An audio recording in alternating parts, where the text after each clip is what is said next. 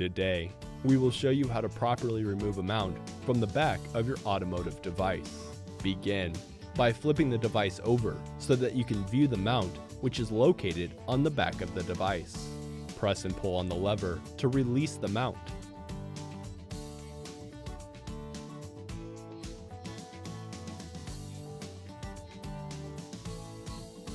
Thanks for watching.